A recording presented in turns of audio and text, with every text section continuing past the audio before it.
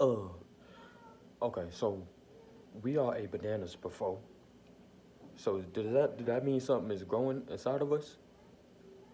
Cause that looked like a big ass tapeworm, earthworm.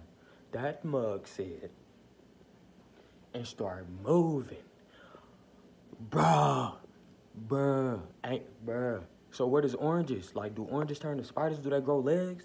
Bro, that mug started moving. I don't know if it's real or not, but that mug started moving. Bruh.